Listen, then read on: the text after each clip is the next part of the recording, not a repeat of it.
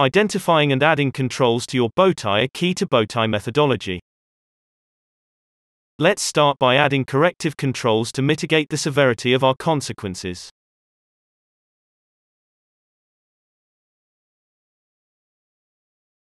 To add a corrective control to a consequence, hover over the gray dot inside the box representing a consequence.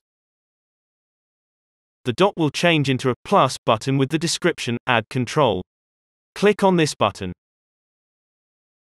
Click on the resulting rectangle with the Enter a Control Name placeholder.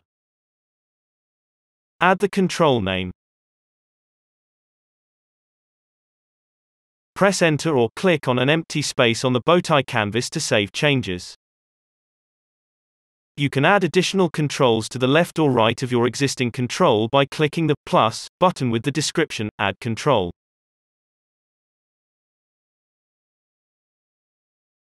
Add the control name and press Enter or click on the bowtie canvas to save. We can now add preventive controls to our bowtie.